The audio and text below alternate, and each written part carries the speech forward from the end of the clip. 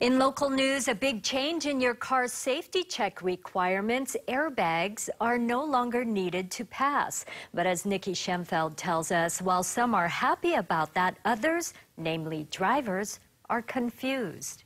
Right now is great news for Hawaii's motorists. Frank Young has been issuing safety checks for years.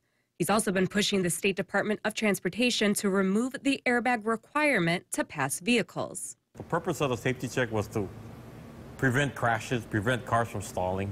And an airbag has nothing to do with the intent of the law.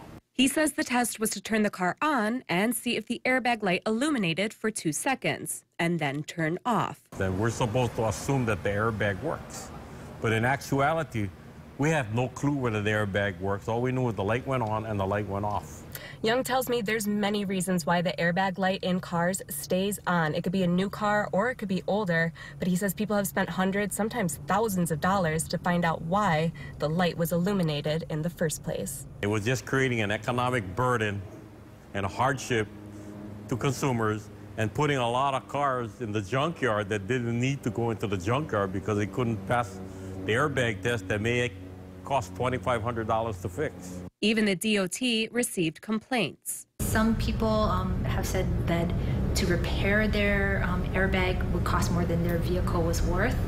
And we certainly are not trying to keep um, older vehicles or penalize those that can't afford that type of repair.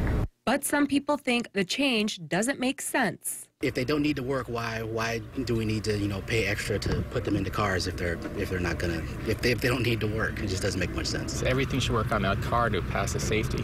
The new rule does require your seatbelt to work. We did support that because it is considered a secondary restraint system with seatbelts being the primary. A digital note will be made stating your car's airbags do not work.